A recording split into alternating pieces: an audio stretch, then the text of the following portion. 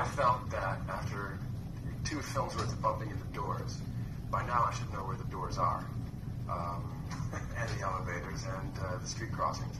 Uh, it's a bore to watch somebody be a classic. So that was Christopher Reeve giving an interview from a long, long time ago, talking about how much he disliked playing that bumbling Clark Kent in the Superman movies that everyone loved. And here's how the Avengers Endgame writers are talking about Superman in 2019.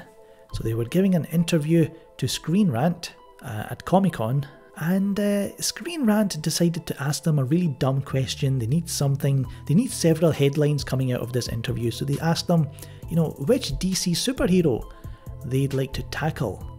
Uh, and uh, McFeely gave a response. says, I mean, I think Captain America shows there are certainly ways to do a really good Superman movie in this day. I don't think so. We've already got a great Superman film. It's called Man of Steel. You don't have to dirty him up. I don't remember. I don't think Zack Snyder dirtied him up.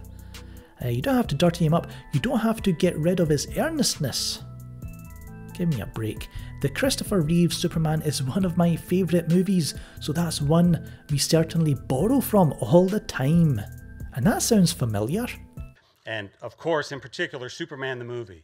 And we watch it before we make almost any one of our films. So yeah, you've got Kevin Feige and you've got the writers. I think the Russo brothers have said it themselves as well.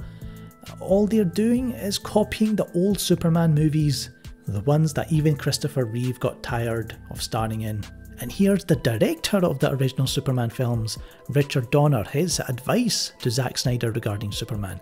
He said, It's going to be really tough on Henry, uh, but he's a wonderful actor and is a great director working with them. I think they'll do a sensational job because I truly believe their dedication to the product is honest. That film that they're making, they believe in it, and that's all you need a good director and to believe in your project. You can't ask for more. And this is the most important part. Says, I look to them to show me something new and something different. I played it like the ultimate migraine headache. You know, there's this demon within him. And the demon within him is the good Clark Kent, who is like the albatross around his neck. You know, this this guy who limits him, this guy, this this fool that he has to act, this glasses, this thing.